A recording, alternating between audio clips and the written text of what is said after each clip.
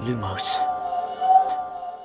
Given a linear space V over some field F, a linear transformation from V to itself is defined. Then its eigenvector is defined as following. When we find a basis for V and express A into matrix representation, there are two different kinds of eigenvectors. The right eigenvector is defined as this, while the left eigenvector is defined as following. The right eigenvector is familiar to us, but how to understand left eigenvector? Consider the expression of left eigenvector. We now apply adjoint operator on both sides of the equation. See what we have?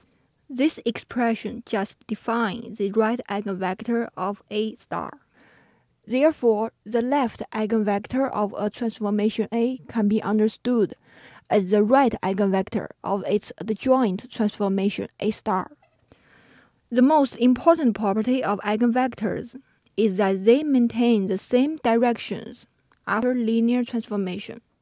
So, why eigenvectors are so important? Now we try to solve some practical problem using the idea of eigenvectors. We need some help from some famous characters. Let's welcome Ernie. When I squeeze you, you make noise. Rubber ducky, you're my very best friend, it's true. Hey, what's up? Am I on the show? I'm so excited. But I'm bored. Just, just a second. No, no, no, not you guys. This Ernie is the bus driver from Harry Potter. When driving the Knight Bus, Ernie had a problem. Ernie, two double deckers at 12 o'clock. They're getting closer, Ernie. Ernie, they're right on top of us! A collision is about to happen.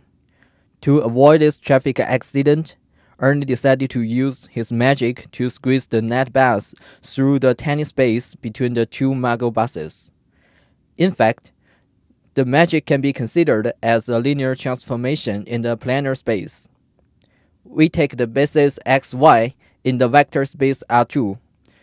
We suppose we want the bus becomes two times longer after the linear mapping and its width becomes half of the original size. Obviously, the Knight Bus still maintains its direction after the linear transformation. Thus, the standard vector in xy space are just the eigenvectors of the transformation. Now, you may ask the same question. What is the magical linear transformation look like in form of matrix? Here it is. We find the matrix representation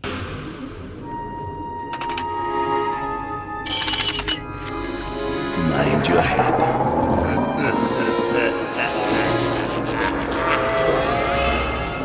hey guys, guys, why the long faces?